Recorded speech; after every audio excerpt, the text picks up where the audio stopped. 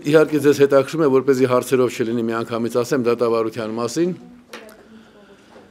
Բնականաբար մենք պիտի բողոքեինք, որովհետև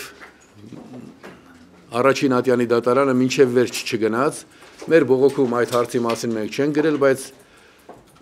դատաքննության հենց առաջին օրը մենք կներկայացնենք այդպիսի պահանջ, որ เป զի նրանք, ովքեր այսօր արդեն այսօր արդեն մասնակից ճանաչված Սետրակյանին բացահայտորեն 100.000 դոլար են փոխանցել, որ เป զի այդ մարդիկ նույնպես հարցակնվեն, որ เป զի ճշտվի թե նրանք որտեղից էին ստացել այդ 100.000 դոլարը,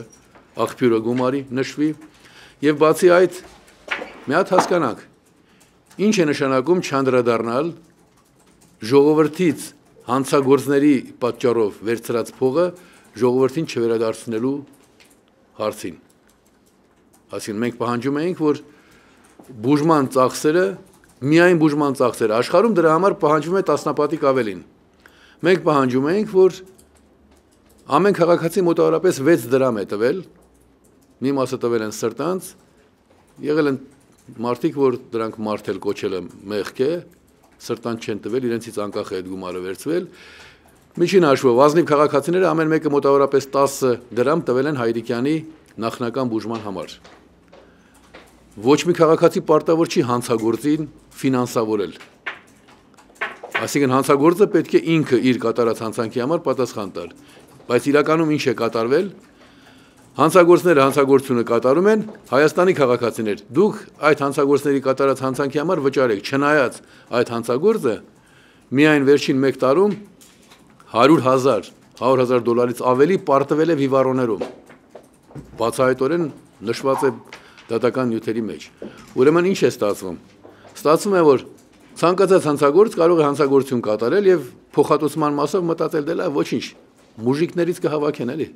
հարկատուներից կհավաքեն կտան ուրեմն սա անթույլատրելի բան է պետական մեղադրողը ինքը պետք է հայցով ներկայանար եւ ասեր. Այս մարդկանց կատարած հանցագործության պատճառով այդ 20 միլիոն ինձ չեն տվել տեղյակ լինեք այդքան որ գոռացին, ես չի ուզում ասել։ Մի մասն են տվել բուժման համար։ Ամեն դեպքում այդ գումարը պետք է վերադարձվի պետական բյուջե։ Ինքը պետք է իր կողմից հայց ներկայացներ։ Ինչ է նշանակում պետության նկատմամբ հանցանք կատարել, քաղաքական գործիչ նշանակում է պետութենական գործիչ։ Եվ հետո քաղաքացիների վրա թողնել այդ բեռը։ Կամ երկրորդ փուլ, հիմա ես գնում եմ նոր վիրահատությունը նշանակվի շուտ, ոչ թե ինչպես ծրագրված է 1.5 տարի հետո նորից պետք է հսկայական գումարներ հատկացնել։ Հսկայական նկատի ունեմ Հայաստանի չափորոշիչներով։ Դարձյալ պիտի այդ հանցագործների կատարածի համար քաղաքացիները բան փոխհատուցեն, վճարեն։ Այնպես որ մենք բնական է որ պիտի դատարան դիմեինք նաև այդ մասով երկրորդ ատյանում քննության ներկայացնելու համար։ Ինչ վերաբերում է այդ ժամկետներին, ես խնդրել եմ փաստաբանից, որ ժամկետներին չանդրադառնա Եթե ասենք 14 տարին կդարձնեն 12 տարի, մենք այդ ուղությամբ որևէ խոսակցություն չենք տանի, ինձ համար դա նշանակություն չունի,